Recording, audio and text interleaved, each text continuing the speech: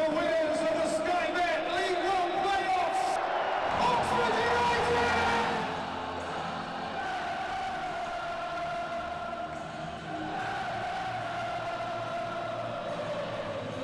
everybody, it's Ian here once again from OUFC FanView and it's back to do part 3 of this season review. It's the final chapter, it's the final leg of Oxford United's promotion winning season of 2023-2024. We continue to look back at the highs, the lows, the anger and the joy from Liam Manning to Des Buckingham. We last left our heroes in the middle of March. Oxford's season had been staggering and stumbling, and that 5 0 defeat to Bolton seemed like the final knockout blow. Each chapter of this story ends with a game against Bolton, so to continue to compare this to the original Star Wars trilogy, we're entering into the Return of the Jedi phase. Obviously, if you haven't watched part 1 and part 2, I do suggest that you go back and watch those. You can see them on the channel. Part 2 is linked above. At this stage of the season, United were broken and beaten, and they'd slipped to 8th in the Sky Bet League One table. There seemed like there was no coming back from this, and somehow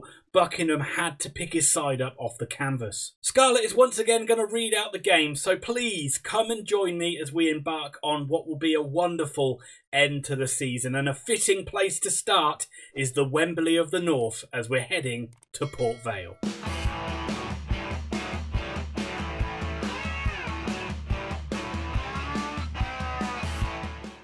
Sky Bet League 1, Game 39, 16th of March 2024. Port Vale nil, Oxford United 2. Not surprisingly, there were changes from that game at Bolton. Will Goodwin started up front, and Oxford unveiled the fabled 4 1 4 1 formation for the first time. When I first saw the formation, it was a little bit surprising, and seeing Brannagan as the only holding midfield player looked a bit strange to me, but it also looked like it was going to give licence for Oxford to attack and get forward and get a lot of attacking players in the box. You have to also think that the fixture list was quite kind to Oxford here because Port Vale were in total freefall at this stage of the season and ended up being perfect opposition. Oxford got a goal early when Ciaron Brown scored a really scrappy goal from a corner, and the U's played with a renewed fire in the belly. But once again, that second goal just did not come in the first half. But then it did come early in the second half as Josh Murphy scored a cross come shot which is probably being a bit harsh to Murphs, but you can judge for yourselves. And from that point on, Oxford never looked like losing. This was a win that Oxford desperately needed. It was solid, it was professional, and it helped to get some of that Bolton 5 0 taste out of the mouth. There was an international break after this game, so it gave Oxford a bit of time to still work on formation and tactics. But there is a couple of things I just want to update you with with players that we never saw again. Will Goodwin got injured in that Port Vale game, and despite it only being a minor injury, we never saw him again for the rest of the season. He kept being one of those, oh, he's close, he's close, he's close, but we never saw him again. There's still a lot of question marks remaining over Will Goodwin, and it'll be interesting to see what sort of a role he can play in the Championship. And it's not his fault that Oxford paid 400 grand for him, but the fans are going to want to see some return on investment. That was also the end for Jay Matete. I actually forgot what game he got injured in, but regrettably we never saw the best of Matete. And also, it, it's come to light now that we ended up getting a transfer, or suspended, sorry, transfer embargo uh, because of not paying Sunderland on time for his services. But he went back to Sunderland before the end of the season, and from his point of view, he's a great player, and I just hope he can get over his injury problems. And that was also the end for Tyler Burey, and he will join the likes of Sonny Perkins, Atif Kanate, Tyler Smith on Pointless as pointless answers for players that played for Oxford United. It was a strange one, really, because I actually thought he was quite decent in the limited times we saw him, but there was clearly something about him that Buckingham didn't like, and we never saw him again. Sky Bet League 1, Game 40, 29th of March 2024. Shrewsbury Town 1, Oxford United 1. So the international break was over and Oxford entered the Easter period and were looking to see if they could build on that win against Port Vale. And in some ways they did, but in some ways it felt like the same old, same old. Sometimes your opponents don't help, and the Shrews are a really dull side. They don't score many goals, but they don't concede many goals either. So when Billy Bodin gave United the lead early in the second half, you kind of thought that was job done. But the broken record is sounding once again, and frustratingly, Oxford didn't kick on and get that second goal, and they invited Shrewsbury pressure. And whilst they didn't necessarily look like getting an equaliser, Oxford's inability to hold on to a lead was in full evidence once again. United just couldn't clear their lines and it came out to the edge of the box. Decent shot by the Shrewsbury man, but it was a shot that Jamie Cumming really should have saved, but he only managed to palm it into the bottom corner. Like when Oxford played Cheltenham a few weeks ago, the equalising goal spurred Oxford into life, and all of a sudden they came out of the traps and they were laying siege to the Shrewsbury goal. But unlike that Cheltenham game, they just couldn't find the winner. But my goodness, there were some close calls and some goalmouth scrambles that just didn't go our way. So you couldn't help feeling very frustrated that we didn't take three points from this one because every time at this stage we didn't take three points, it just felt like the playoffs were slipping away. And once again, Oxford were just guilty of being passive when they were in the lead.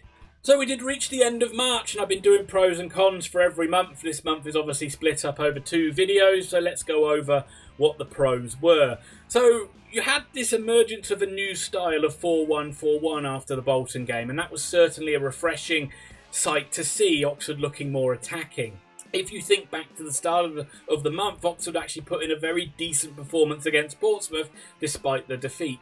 Murphy and Dale were excellent in this month, and they certainly look like they were enjoying the new formation in the last two games as well, giving them so much more license to get forward, hugging the touchline, and causing problems. I've got to give the club's higher ups praise for that fans forum that they did at the start of the month because that did clear the air with the fans. I think that uh, I know the Bolton game soured everyone again, but that did give everyone a renewed sense of confidence that things were okay off the field and it certainly helped the fans get behind the team on the field. So let's have a look at these cons, and the obvious one is Bolton. Bolton Wanderers game was one of the worst performances and results I've ever seen Oxford have, so it is clearly going to be number one here. Oxford dropped down to seventh in the league and were overtaken by a resurgent Lincoln City. There still looked like that lack of cutting edge and just that lack of clinicalness. Is that a word? It is a word now, when Oxford were winning games. Jamie Cumming was starting to look a little dodgy in goal. He was starting to have a little bit of the Simon Eastwood struggling to get down to save shots into the corners. And you saw some goals against Bolton, Cheltenham, and against Shrewsbury you felt he should have saved. And the injuries to Goodwin and Matete that I referenced earlier did look like they were going to hamper Oxford United. We didn't look like we had a huge amount of depth up front or in midfield, certainly not up front. And uh, it was putting a lot of pressure on Mark Harris. And it kind of really summed up the January transfer window, which was a little bit underwhelming as opposed to the window that we had in August. But let's put March in the rear view mirror and let's start looking towards a much more favourable April. This was the final month of the regular season, and at this point at the start of April, it did feel like promotion was a long shot. And at this stage as well, even if Oxford did find themselves in the playoffs, you felt the chances of winning them would be very slim. There were some tough looking fixtures that stood in Oxford's way, certainly towards the end of the month, but the start of the month, we saw two very winnable games, starting on April Fool's Day.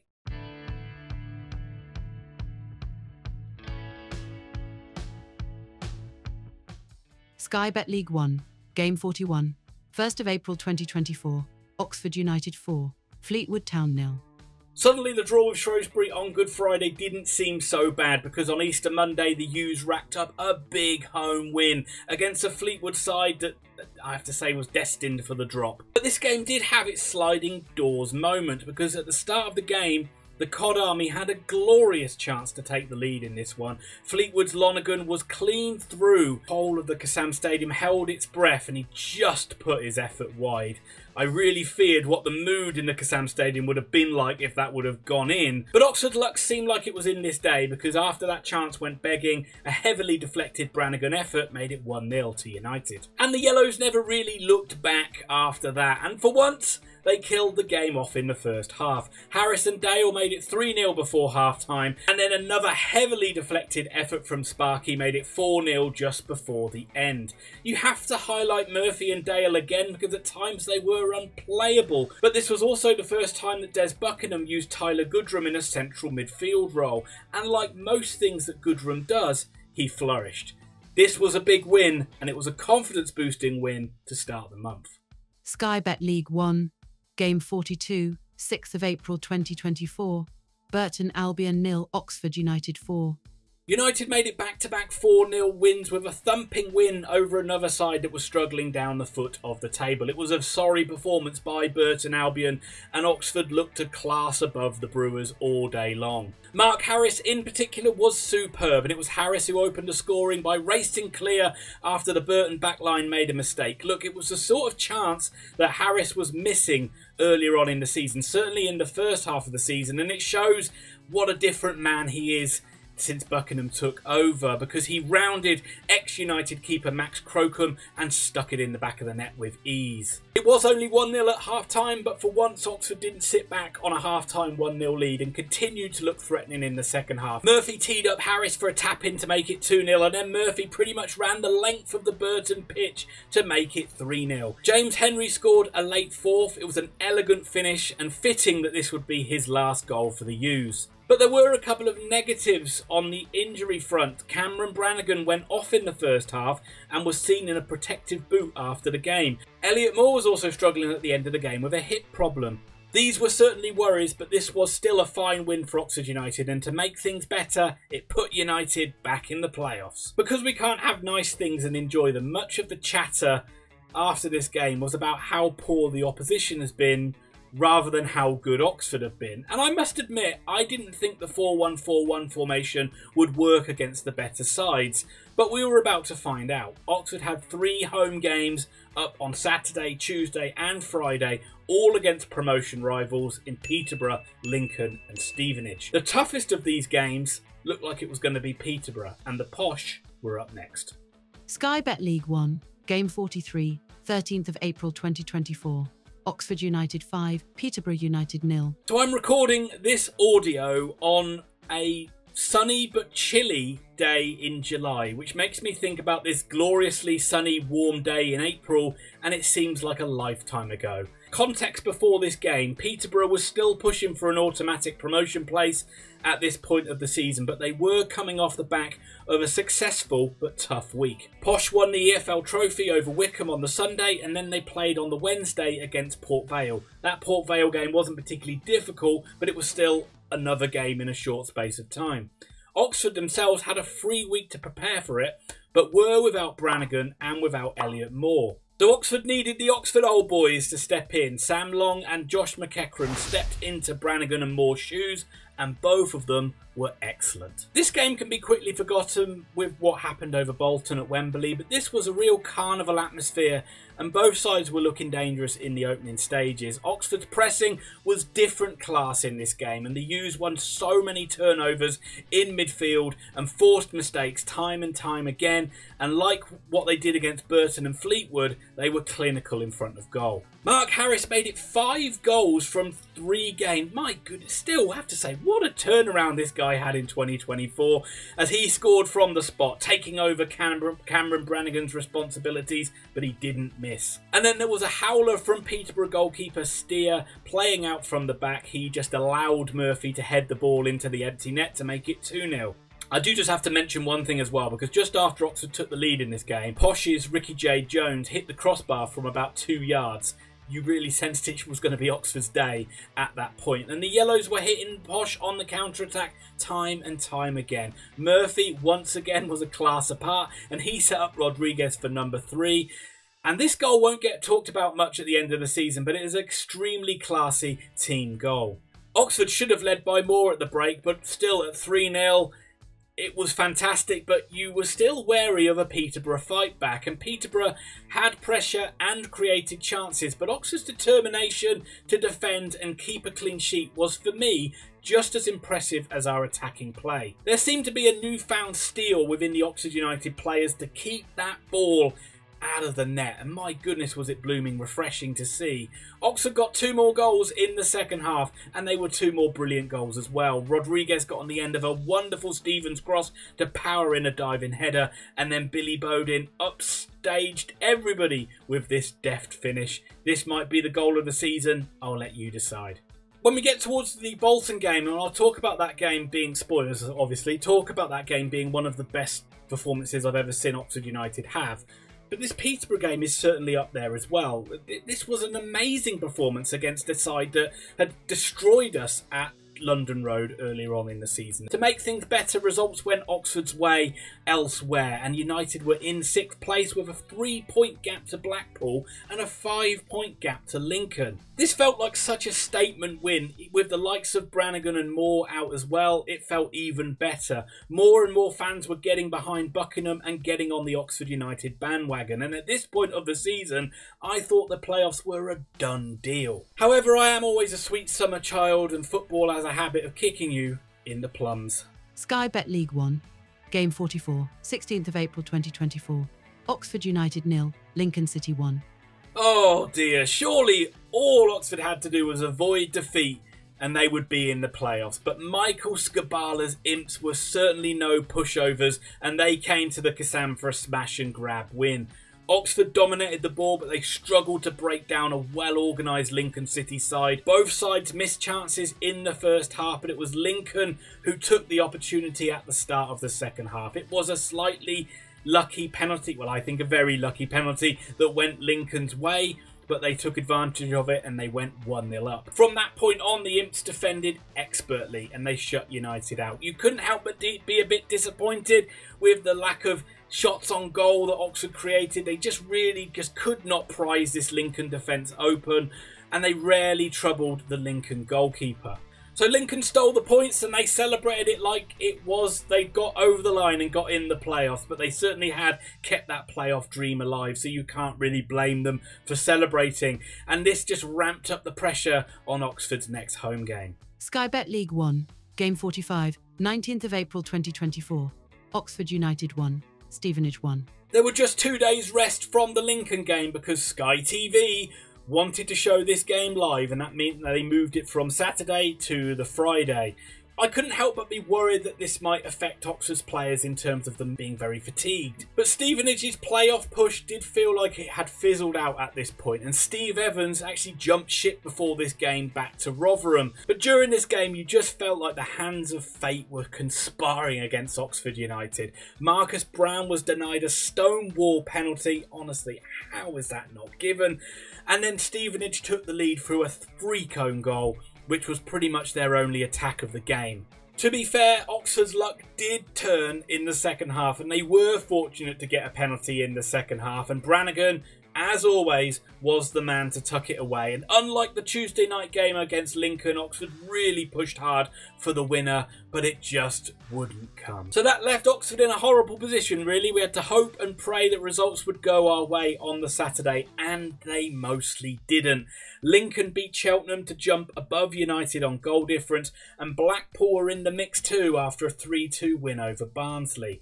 This actually was quite bad for Barnsley, and the Tykes form had fallen off a cliff at this point, which meant there were four teams vying for two playoff places on the final weekend. Here are the fixtures, and Oxford arguably had the toughest one of all of them as they faced a trip to Exeter all United could do was win this game to give themselves a chance. Many people thought that it was season over and they weren't even going to watch this game and just check the result later on. They didn't want to get their hopes up and I totally understand it. There was a realistic chance that Oxford could finish 7th this season and miss out on goal difference. Sky Bet League 1, Game 46, 27th of April 2024. Exeter City 1, Oxford United 2. So this is what the end of the season is supposed to be all about. A number of teams vying for a number of things. You're concentrating on your own game. You're also concentrating on all the other games that are going on around League One as well. Apart from the first five to ten minutes of the first half, Oxford were superb. They were putting Exeter under pressure and exploiting their mistakes. Mark Harris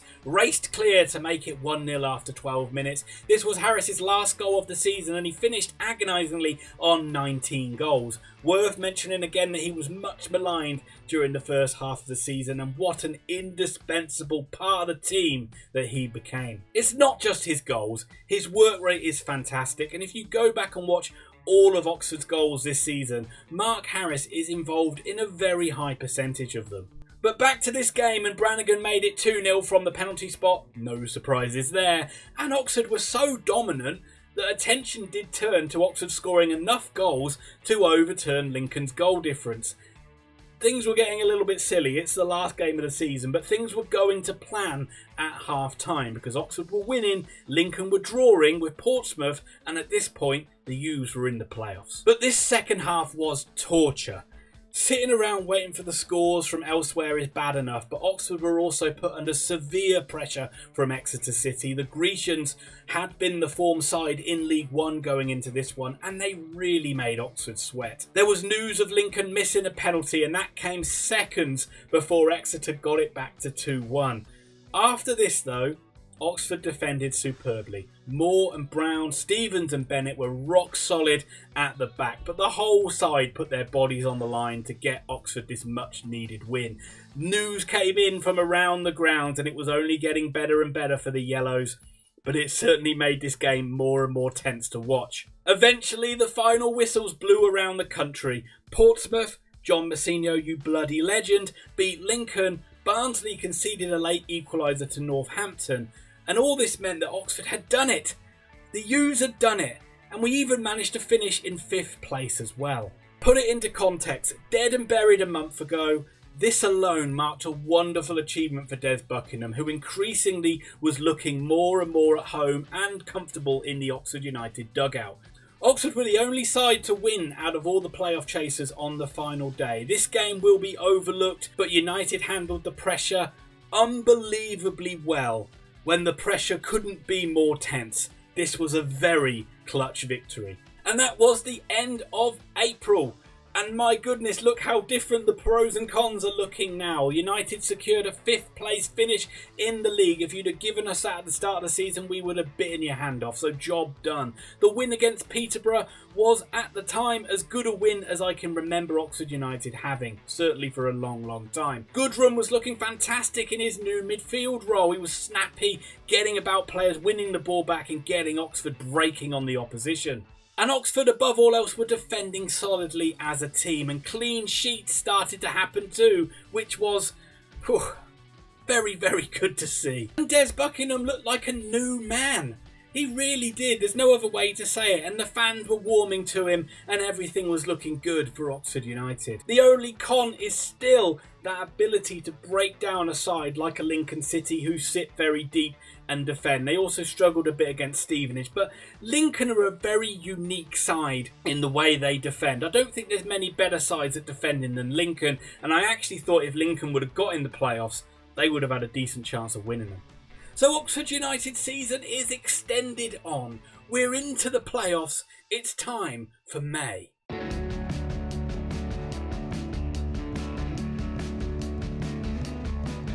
So Oxford were up against Peterborough United in a two-legged semi-final, a side that we had just beaten 5-0 at the start of April. There was a sense amongst Oxford fans, myself included, that we were happy to be there and that it didn't really feel like there was any pressure on the Yellows going into this first leg. It was a beautiful Saturday evening at a sold-out Kassam Stadium and you kind of sensed it would be a special night. Sky Bet League 1. Playoff semi final, first leg, 4th of May 2024. Oxford United 1, Peterborough United nil. Before we talk about matters on the pitch, Oxford fans and Oxford staff did a remarkable job of creating an atmosphere for this game. Posh fans, you packed out the away end and they were in fine voice as well. And the Kassam Stadium for once actually looked quite the picture. On the field, this game was tight, and whilst Oxford controlled the first half in terms of possession, chances were at a premium. Peterborough was strangely cautious, and it was almost like Darren Ferguson was worried about being too expansive after the last time the sides met. There was only one goal to separate the sides, and this goal came early in the second half. It was a Josh Murphy corner, headed back across goal by Cameron Brannagan, and up jumped the skipper, Elliott Moore, to make it 1 0. The stadium erupted into jubilation. Elliott Moore's celebration was immense, but the game was not done. And the realization sunk in now, and I was nervous for the first time. Oxford now had something to lose, and Peterborough was stung into action and they forced the pace for the remainder of this game. And despite their pressure, Oxford once again stood firm and ensured they took the slenderest of leads to London Road for the second leg. I still considered Peterborough to be favourites going into this second leg. Their home form had been very strong throughout the season, and there were a lot of posh fans in my comments that were very bullish that Peterborough would turn this around. Some even thought it would be a formality and they would blow Oxford away. One thing was for sure, this was going to be a brutally tough game. Sky Bet League 1, playoff semi final, second leg, 8th of May 2024, Peterborough United 1, Oxford United won.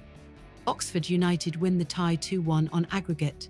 And boy oh boy was this game something. London Road was packed to the rafters and the Peterborough faithful were doing all they could to make it hostile for the U's. Their side responded and Peterborough picked up from where they left off at the end of the first leg and pretty much dominated Oxford for the entire game. It was very worrying because Oxford could hardly mount any attacks or really keep the ball for any significant periods and it became a case of the Yellows just trying to repel wave after wave of Peterborough attack. But like what we've seen in recent weeks though, Oxford were defending very well and coming, was coming, see what I did there, to the rescue when United needed it. But it certainly was horrible to watch and towards the end of the first half you just sensed there were a few cracks in the Oxford United defence opening up. Finn Stevens gave away a rash free kick and from that Josh Knight steered it beyond Jamie Cumming and the tie was level. Peterborough fans were buoyant to the point where there was a flare thrown onto the pitch. This delayed the kick-off and it visibly irked the Peterborough players who sensed blood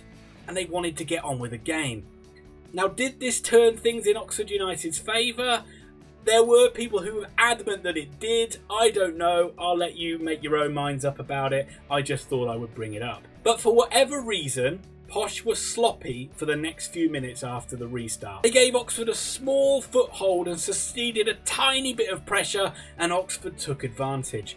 Owen Dale won a free kick right on the edge of the box and it was powered towards goal by Brannagan but the Peterborough skipper Burrows put his hand up in the air and the referee gave the penalty. I'm usually pretty good at watching penalties but this was one that I really struggled to watch. But why would I ever doubt Cameron Brannagan? He has ice in his veins and he was ice cold once again to roll the ball home and Oxford were back ahead in the tie. So 1-1 at half time but you knew this was going to be a long second half with Oxford having to soak up buckets of pressure. If the U's defence was cracking though, Buckingham did a terrific patch-up job and that worked wonders. Sam Long came on for Finn Stevens and the Bicester boy put in a heroic second half. This was actually the last we saw of Finn Stevens and I just wanted to acknowledge what a wonderful season the young man had. Talented going forward, but I think there was a real maturity in the defensive side of his game in the last few weeks of the season. Thank you very much for the memories, Finn, and good luck with the rest of your career. So the second half was as predicted with Peterborough on the front foot for the majority of it. However, the more and more the half went on, the more and more you sense that they were getting sloppy and starting to panic. They weren't testing Jamie Cumming, and the more the minutes ticked by, the more you started to think it was going to be Oxford's day. Marcus McGuane, who was superb when he came on early in the game for Tyler Goodrum, had the chance to wrap it up, but his shot went just wide. Inevitably, though, there was a late flurry of chances. Sam Long cleared an effort off the line. My goodness, what a great clearance that was. And then Jamie Cumming made that save. You've all seen it. Here's a picture of it. There's the highlights of it as well. To deny a second goal for Knight. And then there was one final ball into the box, which saw the ball bounce agonisingly across the six yard line. And there was nobody there to prod it home. The referee blew the whistle and Oxford had done it. If you're going to win promotion, you need to go through the ringer, and this is what this game was. This game was draining. For Oxford to get through in the manner they did felt a little bit surreal. Neutrals or posh fans may look at the game and think they were unlucky, and they have an argument they certainly might be right in that case. On another day, Peterborough would have won this tie. But the grit and the determination put in by the Oxford players cannot be understated. There was the resolve that quite simply has not been there for quite a while. It's hard to single out anyone, but Elliott Moore and Ciaron Brown were like two towering colossi. The way the Oxford United players scrapped tooth and nail to get through will never be forgotten by me. This was a night to be proud, Oxford United fans, and Oxford United were going to Wembley and Oxford United were one game from promotion. So who stood in our way? Well, we all know who it was, wasn't it? Oh, it would be Oxford United versus Bolton Wanderers in the playoff final at Wembley. The side that humiliated Oxford a few short weeks ago. Despite that, the mood amongst Oxford fans in the build-up to this felt very relaxed. The media work from the club did a wonderful job of banging the Oxford United drum and tickets were selling fast. Oxford were the underdogs but the pressure was all on Bolton and whilst the U's certainly weren't going to turn up to Wembley and just be happy to be there, losing in the final would be no disgrace, and United seemed like they were in a good place even if we didn't go up. For a two horse race, though, it did feel like Oxford weren't given much of a chance. From my point of view, living and working in Sheffield, I was being asked by my colleagues, one, if I'm going to the final, and that was soon followed up by statement number two, I don't think you have much chance. And that was fine by me. I was happy with Oxford being underestimated. I was happy with us being the underdogs. I doubt the Bolton media and the majority of their fans thought it would be easy, but from the neutrals' point of view and from the media point of view, there only seemed like there was going to be one winner. But what gave me cause for optimism was the way that Buckingham and the players spoke about this final. They were determined to seize the opportunity, and they certainly weren't just going to go there to make the numbers up. There was the quote banging around of, we haven't come this far to only come this far, which is such a Jim Smith comment, it's not even funny. But I couldn't get away from the fact that Bolton had routed Oxford 5 0 a few weeks ago, and that was such a humiliating defeat to the point where Oxford just couldn't get out of their half. They had no control of the game that day, and we'd also just seen a second leg against Peterborough where a similar thing happened and Oxford only just got over the line. I kept thinking that if the Trotters were allowed to dictate terms, I just couldn't see Oxford getting the win. On a side note though, I've been there the last three times Oxford have won promotion, so that has to be a good omen, right? 1996, 2010 and 2016. Look at these beautiful chaps in 2016. No, no, not the Oxford players, these beautiful chaps. If you're only listening to the audio of this, that gag's really not going to work. But laugh along anyway, it'll make you feel better. Sky Bet League 1. Playoff Final, 18th of May 2024. Bolton Wanderers nil. Oxford United 2. Here it is then, folks. Look, I'm going to start this by saying this was a perfect day. And I know that sounds a bit lame, but I generally can't think of many better days supporting Oxford United. I wasn't there for the Milk Cup win, so for me, this was as good as I've ever seen it. I will explain more of what I mean by that at the end. So the worst thing about the day was being squeezed in on the train up to Wembley like a sardine. And if that's the worst thing about your day, it really is nothing to complain about. But seriously, how do people travel like that every day? And who would ever live in London? There was a Scouse bloke on the train. He was supporting Oxford. Uh, they were kind of like a second team for him. And I remember him speaking to other people on the train, and he was very bullish in all of his opinions about football. But he was also adamant in saying, Oxford would beat Bolton that day. And I remember thinking, number one, he's talking way too much. And number two, this is madness. How could he be so confident? But you know what? He was bloody right. Both sets of supporters made their clubs proud, with over 30,000 fans from each side making it a very special atmosphere. But the game itself was quite scrappy for the first 30 minutes. That's not unusual for finals, so you kind of expected it. It needed something to ignite it, and that spark was provided by Josh Murphy. Like a lot of Oxford's attacking players, Murphs had been quite quiet up to this point, but he cut inside and fired Oxford into the lead. The shot deflected off a Bolton defender Santos and caused it to loop over the keeper, but who cares about that? 10 minutes later, it was 2 0. Ruben Rodrigues made this goal. He showed the vision of a hawk and the skill of a hawk. Yeah, that'll do.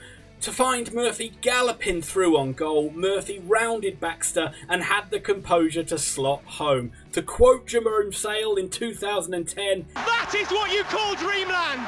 2 0 up at half time, and Bolton were booed off. Realisation started to kick in that we were 45 minutes from the championship. It just didn't feel real. Surely something was going to go wrong at some stage. Where was Ryan Clarke to drop a routine cross into the net? Bolton had pressure at the start of the second half, but they just weren't creating chances. Oxford once again were rock solid in defence, and you sense that the Whites were getting frustrated and were running out of ideas. The battle was being won by United, especially in midfield, and it was Oxford who looked more likely of getting a third goal on the break. Even when Cameron Brannagan limped off, Marcus McGuane stepped up and more than played his part. I still couldn't allow myself to get carried away with the we are going up chart until deep, deep into stoppage time.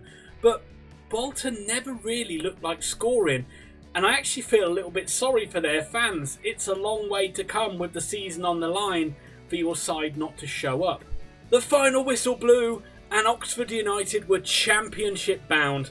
It isn't supposed to be this comfortable, it isn't supposed to be this enjoyable, but it was and it was real. The Death Star was destroyed and the Empire defeated. The rebels could start their promotion party on the forest moon of Endor. This game will always be remembered as the Josh Murphy final. He deserves all the accolades. His performance made all the difference. But to a man, Oxford were exceptional. Apart from Jamie Cumming, the lazy git, he did nothing all game. Sam Long set the tone early with a crunching tackle on Paris Maghoma. Harris led the charge from the front. Dale Goodrham, Rodrigues, and Brannagan were brave in possession. Ciaron Brown and Joe Bennett won every header and every challenge, and Elliott Moore put in a captain's performance and didn't put a foot wrong all game. Marcus McGuane filled Brannagan's shoes impeccably, and even Josh McEachran and Greg Leigh added an element of stability and calm from the bench. As for Des Buckingham, well, this was his magnum opus. This was his masterclass. There was something quite often he talked about during the season was peaking at the right time. We kind of laughed those comments off during the bad times, but my goodness, he was true to his word. Oxford played their best game of the season when it mattered the most. We weren't lucky, we weren't hanging on, we were the better side, and we deserved promotion. So, as I said earlier, this game was as good as it ever has been for me supporting Oxford United. To do it at Wembley is always the best way to get promotion, which puts it above 1996 and 2016. So that just leaves 2010. And whilst that was amazing too, I remember the torture, pain, and anguish of the day as much as I enjoy the good times and, quite frankly, the relief of the day as well. That game was about the survival of the football club, and I was just nervous all day to the point where I was getting annoyed at casual Oxford fans singing songs on the coach on the way up. I think that says a lot about me. But I just couldn't allow myself to enjoy that day unless Oxford won. This victory in 2024 was so very different. I was delighted that we'd gotten to Wembley and didn't really feel any nerves until that second half when promotion came very real. But whilst there were nerves, I was thoroughly enjoying this Oxford United performance and proud of the Oxford United performance as well. A number of weeks later, I may still just be in a state of delirium after winning promotion, but there feels a real connection between the club and the fans at the moment. And it seems that more and more people want to be a part of it. The singing of Hey Jude at the end at Wembley is a genuine lump in the throat moment. The bus parade seemed far more electric than it did in 2010 having a man from Oxford being the Oxford manager just seems to make the club more relatable. And there's other little things as well, like when me and my brother got back from Wembley, we were walking through Kidlington and cars were waving flags and honking their horns. Now, personally, I thought this was disgraceful and it shows why we should never build a stadium there. But I can't ever remember this happening before. And the only things that would have made the day better would be if my dad was still with us and if my other brother, who is still with us but lives abroad, could have been there too. But this for me was the most united I have ever seen Oxford United. So with Oxford in a strong position on and off the pitch, we can look forward to a year in the Championship and hopefully longer. Who knows how much higher we can go, but it's taken 25 years for the club to recover from their financial problems to get back to this level. There have been some truly dark times during that 25 years, and you'll all have memories of this. And it's important to try and enjoy next season, regardless of times when it is going to be tough. The squad for next season is already taking shape and new signings are coming in, but I did also want to touch on Josh Murphy, who did not re sign for the Yellows and instead chose life by the seaside in Portsmouth. I was a little disgruntled by this at the time, mainly because he chose Pompey. Now, it's not a slur against Pompey at all, but I see them in a similar position to Oxford as a newly promoted club. In my silly mind, somehow it would have been more acceptable if he would have joined a Burnley or a Norwich, like that somehow would have made it better. But you have to remember, and I know most of you do, that Murphy selected the best deal for him and his family, and you can't really argue with that. It doesn't take away the memories he gave us, and it doesn't take away that performance in the playoff final. Des Buckingham deserves the credit because he helped bring the best out of Murphy, but you've got to admire Josh Murphy's resolve this season. And I could even go back to the second half of a 2 0 defeat against Barnsley the season before because you saw a man that was determined to make a difference, even if that was in cameos coming off the bench or playing left back in the EFL trophy. He made sure that you noticed him. It would have been wonderful if he stayed but I know I would shake him by the hand and buy him half a shandy if I saw him in a boozer.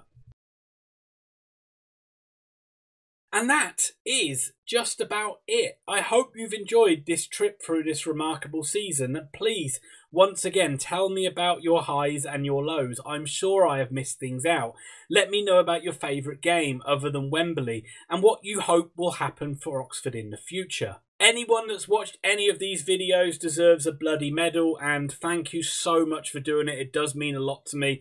I will once again ask that if you can hit the like button, and if you can share this out to any friends or on social media, I will really appreciate that as well. As I draw a line under this season, I can already feel myself getting excited about reviewing Oxford United in the Championship.